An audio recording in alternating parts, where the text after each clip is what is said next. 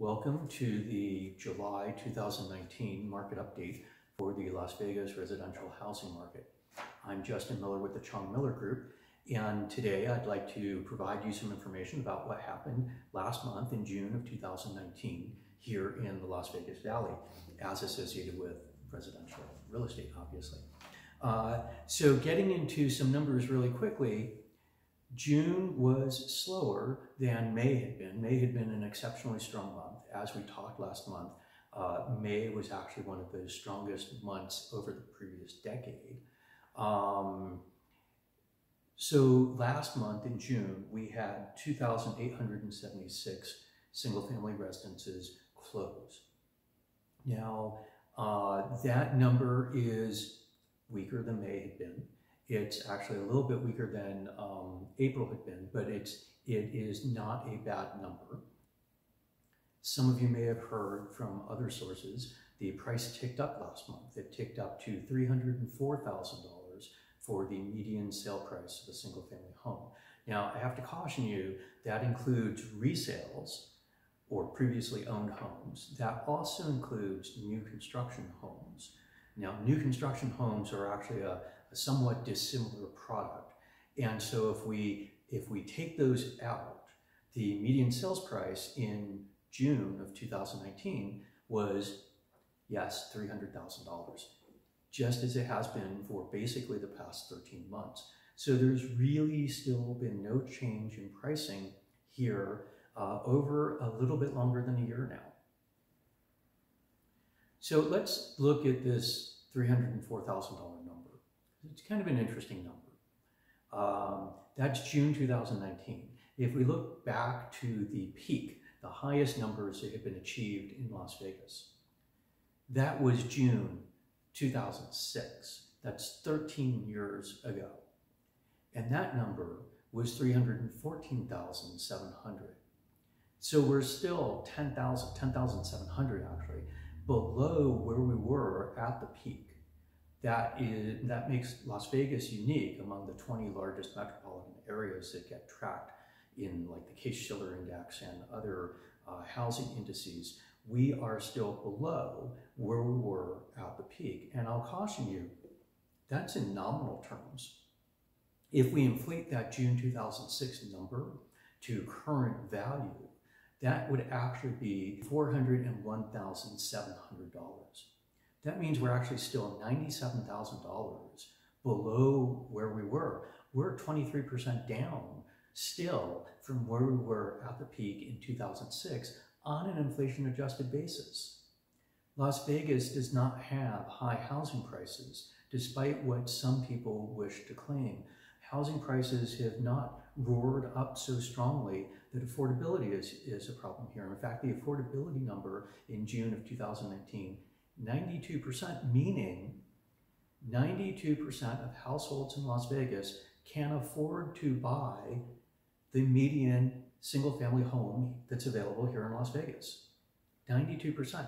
That's the highest affordability of, again, any of the 20 largest metropolitan areas tracked for uh, real estate sales. So in Las Vegas, we do not have an affordability problem. We do not have a super high priced problem.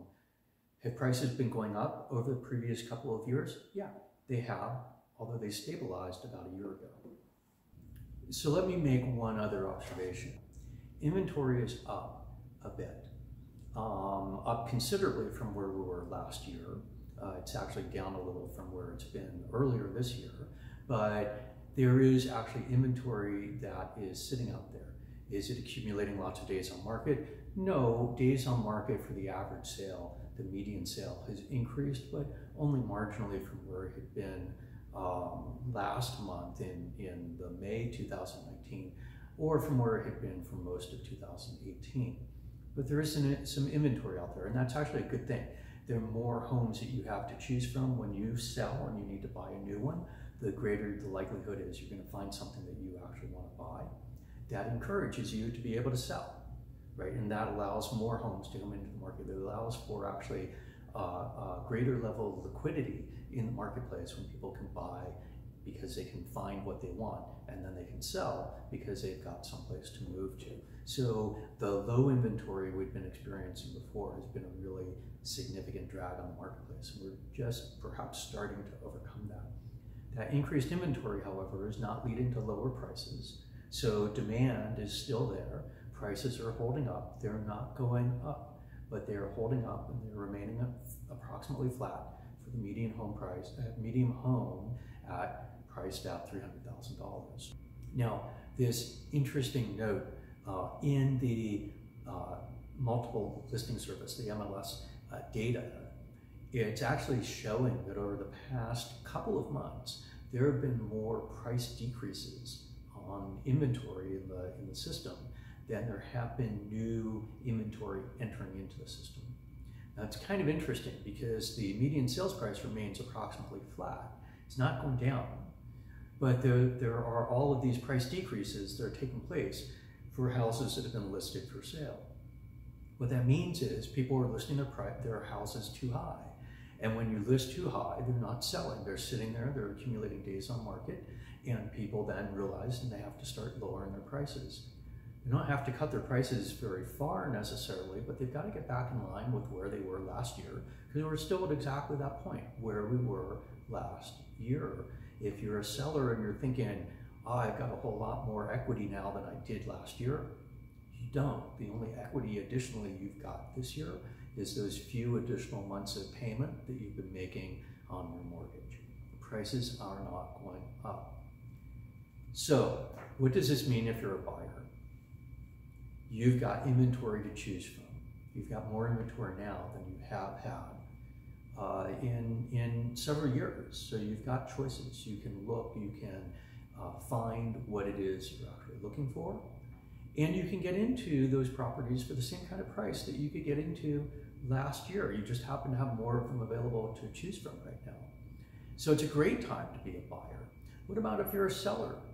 Well, it's a perfectly fine time to sell. Yeah, there's more inventory, but so much of it's being priced wrong. If you were to come in and price your property appropriately, it's selling. There are houses that are selling very quickly because they're priced properly. And I don't mean pricing low. I mean pricing with regard to where the market actually is. And where the market is, same place it was last year. It's not gone higher. The only way your, your price should be going higher is if you've been investing more money into your home over the past year, updating kitchens or bathrooms or, or things like that then you can get more money because your house has actually been improved and is worth more. But if your house is just simply a year older than it was last year, not getting more money for it. It's that's not the market that we're in right now.